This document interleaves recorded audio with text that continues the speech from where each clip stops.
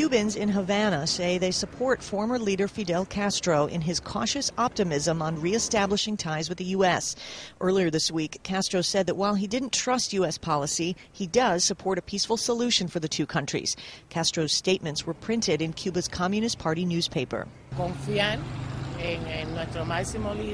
I trust in our supreme leader who, after all of these years, has a clear vision in terms of everything that has happened between our country and the United States.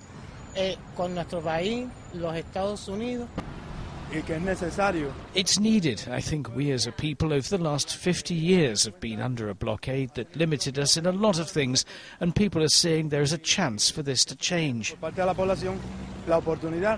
The U.S. and Cuba held historic high level talks last week that are expected to normalize diplomatic relations that were severed by Washington in 1961. Castro, now 88, took power in a 1959 revolution and spent much of his 49 years in power railing against the U.S., which never managed to oust him.